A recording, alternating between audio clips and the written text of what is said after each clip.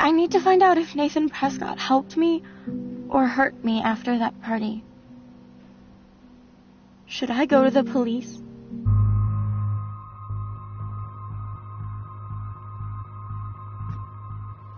If you do that, they won't believe you.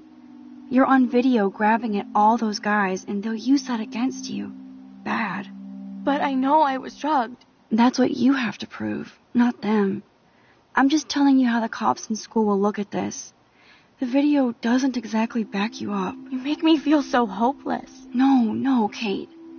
I just don't want you to get hurt anymore. That seems impossible at this point. So that's your answer? I I think we should wait. There are other things going on that might help you. But not right now. So I can walk down the halls with people calling me a viral slut. Thanks, Max.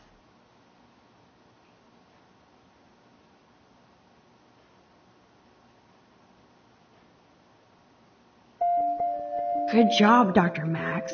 She didn't like what I had to say, but we need more proof of what happened.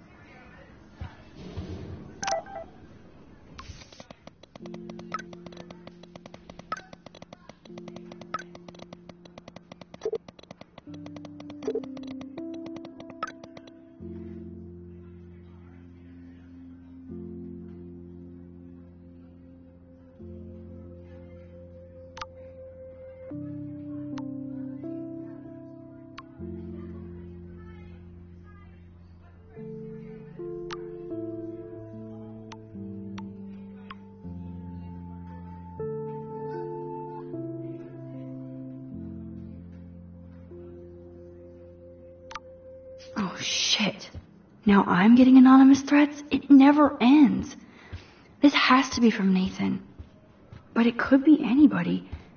I better be doubly careful around here, or I could be in serious danger. If I'm not already.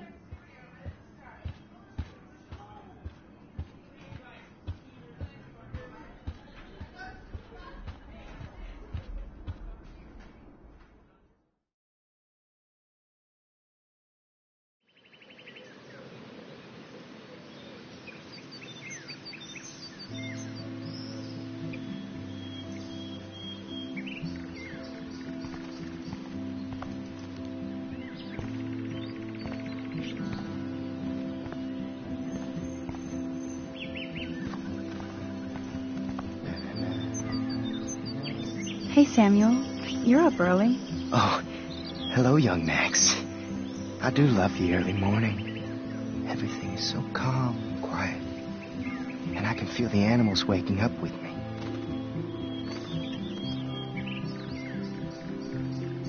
I so don't want to get in the way of your morning ritual. See you later. Of course you will.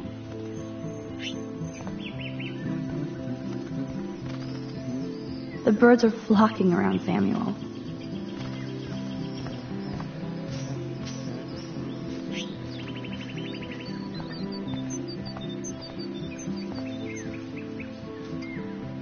Hi, Taylor. Why would you even talk to me after the shit you pulled yesterday with Victoria? I don't want to fight with you or Victoria. Instead of smack talk, let's just talk. For once. You're funny. Well, I'm not doing anything at the moment, so talk. Kate is really upset about the video. All this gossip is cruel. Boo hoo. That's what happens when you preach to everybody about sex. She'll live. Why do you hang out with Victoria? She's pretty mean to you and Courtney. And she's bossy too. Look, you don't know her. I do. And she's one of the best friends you could have. I guess I've had mean, bossy best friends too. Better than having mean, bossy parents. I would love it if my mom was mean or bossy instead of sick. But whatever. We've had our talk.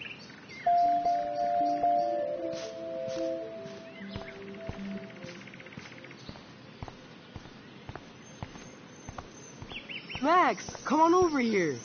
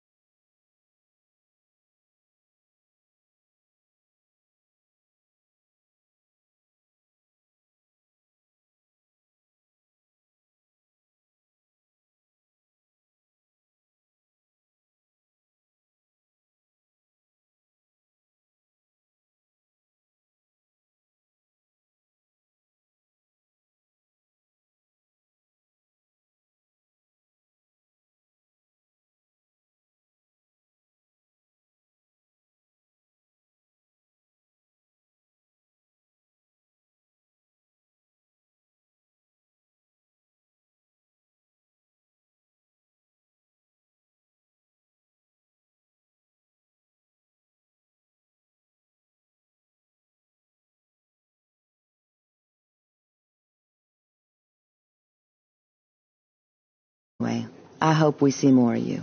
Chloe needs an old friend again. Joyce, I am so sorry about William. I have great memories of him. I'm glad, Max.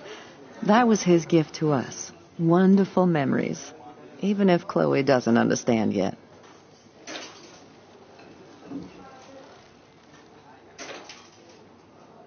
Chloe must have changed a lot during that time. Oh, she hit all the phases expulsion, running away, drugs, bad boys, tattoos, piercings, blue hair. now she's got to rebel against her stepfather. I see why. I mean, Do you? He's not as much of a hard ass as you think. But you did tell him you had a joint, right? You took that responsibility? David scared me when he said he might have my scholarship taken away for that stupid joint. Nobody's in trouble over a doobie, Max. And I admire that you took the heat for Chloe. Like a great friend. But Chloe does push David, and it's not fair. He paid his dues in a war. He does care about her, along with all the students at Blackwell.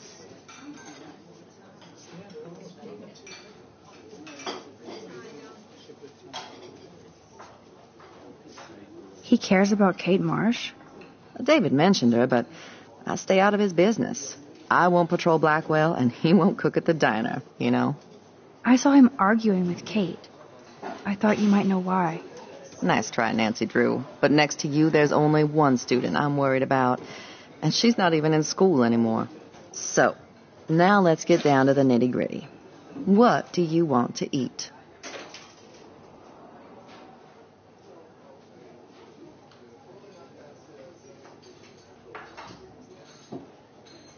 I was dreaming about your bacon omelet. Now finish your coffee.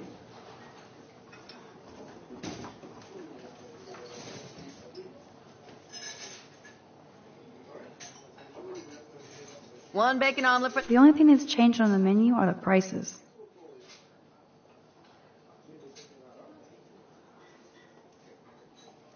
For the young lady staff. Bacon at 12 o'clock hot. I love the delicious anticipation of breakfast. This is like fourth dimensional deja vu. I keep going back in time. Can I get some beer and bacon before I die? This is a diner, not a bar. No beer? Looks like you had plenty. Stick with the bacon.